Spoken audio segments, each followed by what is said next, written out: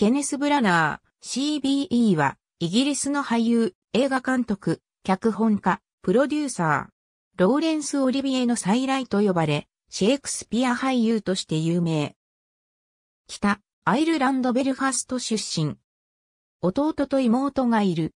9歳の時に家族と共にイングランドレティングに移住。ラダを首席で卒業した後、23歳の時にロイヤルシェイクスピアカンパニーに参加し、数多くの舞台に立つ。現在でも時々舞台に立っている。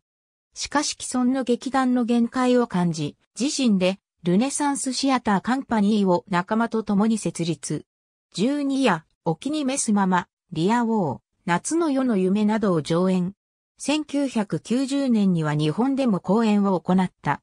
この劇団のパトロンは、チャールズ皇太子で、その縁でか、チャールズ皇太子が2005年に再婚した時に、結婚式に招待されていた。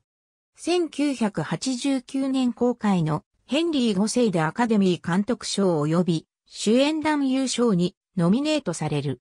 2001年放送のテレビ映画、防御でエミー賞主演男優賞を受賞。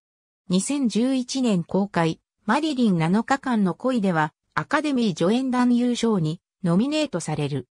2012年7月27日のロンドンオリンピック開会式では、イザム・バード・キングダム・ブルネルを演じた。女優のエマ・トンプソンと1989年に結婚するが、1995年に離婚。その後、ヘレナ・ボナム・カーターと同棲している時期もあった。2003年にアートディレクターのリンゼー・ブラノックと再婚した。トッテナムホットスパー FC のサポーターである。ありがとうございます。